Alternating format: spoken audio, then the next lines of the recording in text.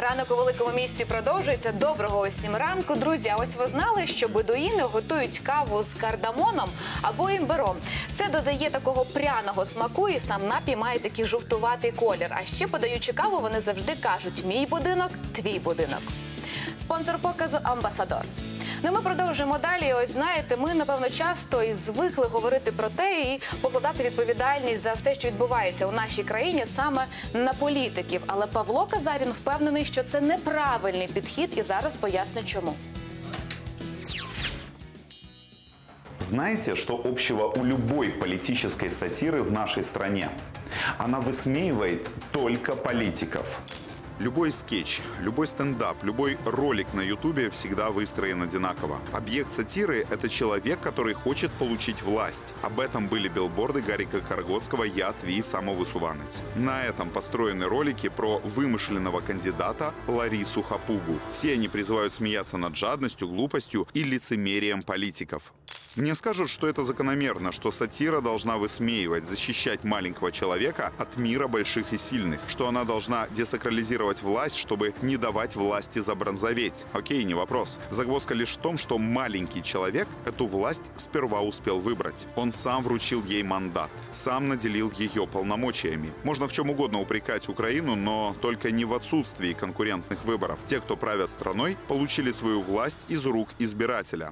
Смеяться над политиками – это все равно, что обвинять плесень, а не сырость. Последствия, а не причины. Каждый депутат прошел через выборы. Каждый мажоритарщик получил поддержку своего округа. Каждый президент въехал на банковую благодаря гражданам Украины. Они – это мы, наше зеркало, наш выбор, слепок с украинского общества. Когда мы хохочем над ними, мы смеемся над собственным отражением, отказываясь признавать, что стоим в этот момент у зеркала.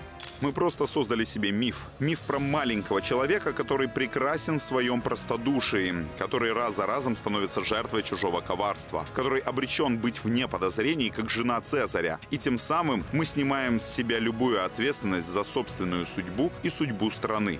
Любой, кто решит пойти против общественного мнения, становится изгоем. Обывателя принято любить, считать солью земли и прощать ему любые эксцессы. Более того, принято считать, что он к этим эксцессам не причастен. И потому даже в победе одних кандидатов мы виним других кандидатов. Мол, неправильно выстроили свою кампанию, не нашли нужные слова, не подобрали правильные месседжи.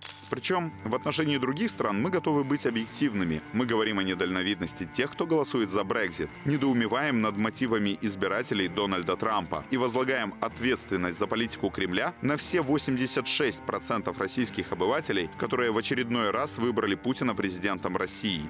А в отношении самих себя мы занимаем противоположную позицию. Подкармливаем инфантилизм и безответственность. Главной крамолой принято считать мысль, что обыватель ошибся, что ему не хватило компетенции и образования. Любой, кто скажет, что в украинских негораздах виноват украинский избиратель, обречен на одиночество. Психологии есть понятие локус контроля. Человек с внешним локусом контроля приписывает свои успехи и особенно неудачи внешним факторам, не зависящим от него самого. Человек с внутренним локусом контроля возлагает ответственность за все происходящее в его жизни на себя. Если так, то Украина – это страна с населением из первой категории.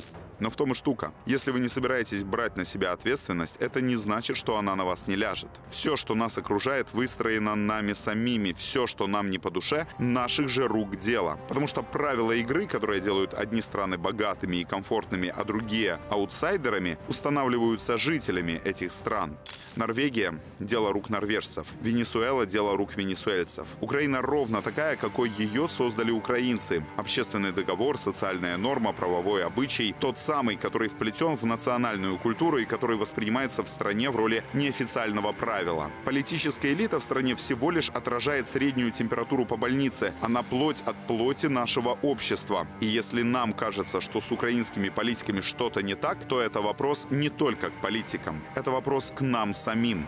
Любое лечение начинается с правильной постановки диагноза. Но мы отчаянно сопротивляемся мысли, что причина наших болезней – это образ жизни и состояние иммунитета. Нам куда удобнее объяснять все чужими происками и конспирологией, потому что это не требует от нас самих никаких изменений. Виноват всегда кто-то другой.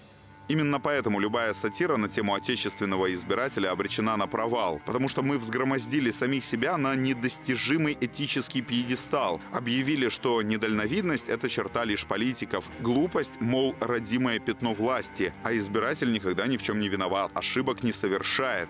Но проблема в том, что тот, кто не признает свои ошибки, обречен не делать из них выводы.